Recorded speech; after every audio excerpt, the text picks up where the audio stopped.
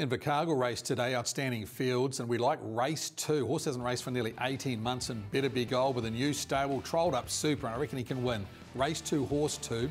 The Black Booker goes around a race four. Massive run last week at Addington, number eight, Zoe's Gift. And the rating special, get on the bus, race seven, number 12.